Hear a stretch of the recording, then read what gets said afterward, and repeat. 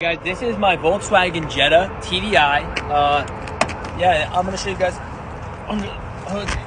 So yeah, this is the uh, TDI motor here. Uh, the turbo is actually around there. So I think it's over there somewhere. But yeah, pretty big. Plan on running diesel in it because that's what the manufacturer told me to run. But I'll come back. Just so you guys know, look, see, TDI wasn't capping, actually TDI. Now I'm gonna take you guys into the inside and show you what's really special about this thing. So it's actually manual speed. There goes my synchros. So basically all I do is flip my key and fill up with diesel. Plans to delete very soon, as long as the EPA doesn't come after me.